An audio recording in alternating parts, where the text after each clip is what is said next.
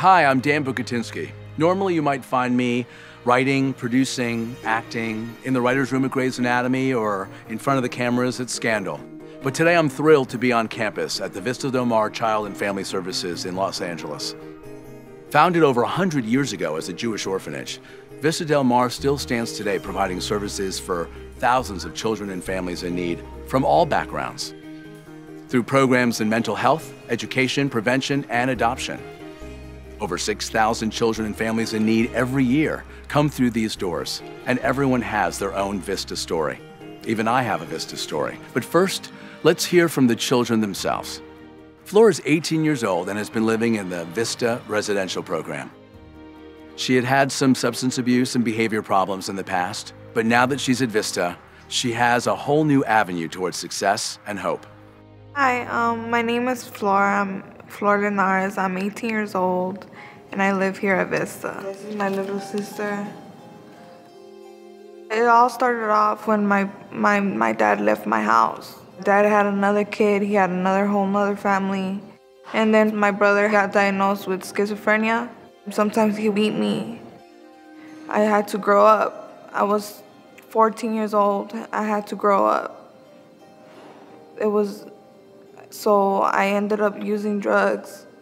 I lived in the streets for almost two years. If I didn't find Vista, I think I would still be in the streets. At the beginning, I AWOL first. I ran away from here, and they caught me. And, and I came back, and,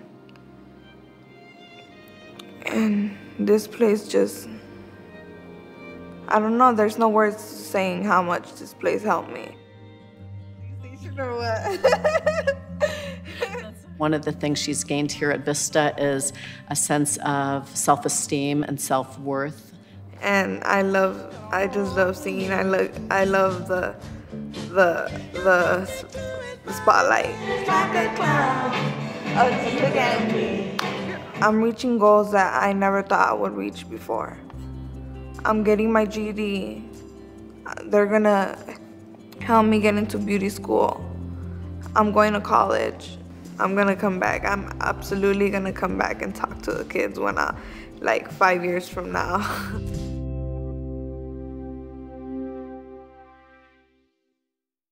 Seth has a Vista story. He's 18 years old and been showing some amazing growth, maturity, and leadership skills.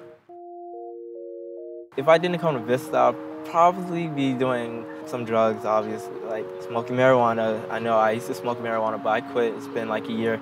Probably not worrying about school at all. Where I'm coming from is a pretty rough background. I didn't have anybody. It was just me, and I was going through a lot of stress and being like depressed. All the people that work here have a passion for helping kids who may not have had the, the the best past or they may have difficult situations that they haven't chosen. I do believe that he has the ability to uh, blossom. They actually care about you. Yeah. They actually care about how you're doing, what are you gonna do next. There's some pretty harsh kids that have been through some harsh backgrounds and they don't really trust adults. And for adults to actually put in their effort to make a kid feel better about themselves. It's amazing.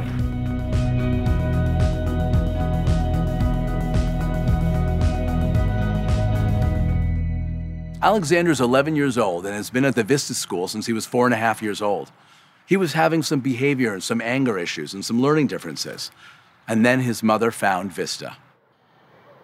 I was devastated when um, they first said that Alexander Need um, is not like everybody else, you know, and is not a typical child. His attention was small. I mean, I couldn't get him to, to remember where we were. He could be considered a problem child. So like if you would say, Alexander, get back to doing your work, you would have to like take him out of the first fantasy world just to get him back to this to to his original place. I would just be looking around like this. Called up friends who are in the field and said, what do you suggest? And basically all roads led to Vista.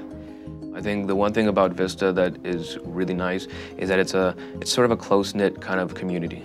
Alexander's been at Vista since he's, I guess, four and a half years old, and it's been a godsend. This. But isn't the Earth at a tilt? Well, it is, but it's not a very large tilt. He got to do a lot of growing up here. I got to do a lot of growing up here.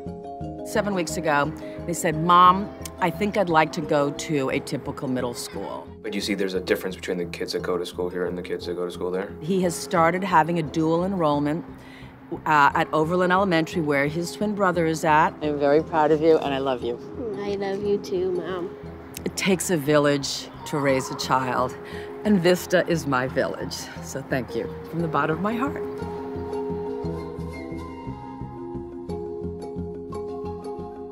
Everyone has a Vista story, even me. When I first came to Los Angeles over 20 years ago, I never thought about having children.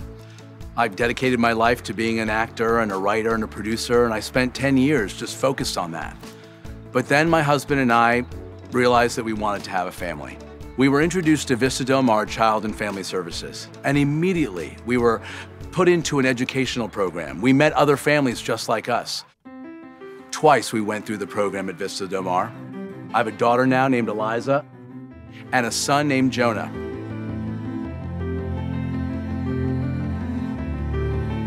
I never knew the joys of having a family until I had one of my own, and I'm so grateful that I myself have a Vista story.